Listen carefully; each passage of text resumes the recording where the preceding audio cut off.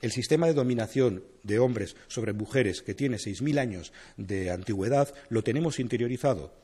Y al estar interiorizado necesitamos, como todas aquellas cosas que tenemos interiorizados, herramientas para ser libres. Y para ser libres la formación es una herramienta fundamental y muchos hombres somos más libres desde que encontramos a través de la formación digamos, una posibilidad de ser mejores personas, simplemente.